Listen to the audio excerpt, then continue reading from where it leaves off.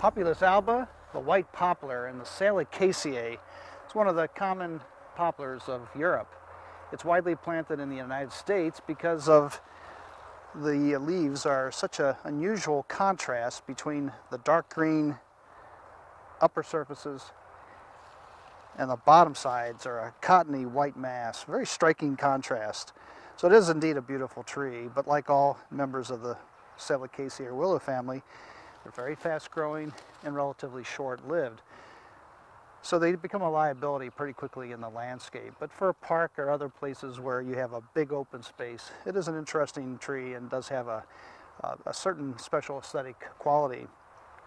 So the leaves are not only dark green on the top and whitish on the bottom, but like all members of the willow family, they have alternate leaf arrangement. Fast growing tree, tree this size, only about 30 years old. Very thick bark with age, light color at the base.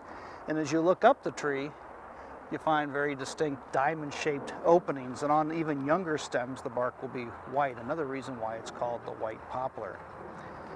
Like many members of the willow family, especially those with the common name of poplar, it is a tremendous root sucker, so it's not unusual to find a thicket of root sprouts around the tree, which can develop into a fairly dense stand if there's enough light.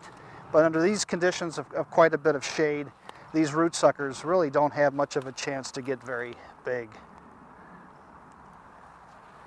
So a commonly planted tree doesn't have a whole lot of economic value, but it is common to find it in parks and other places. Populus alba, the white poplar.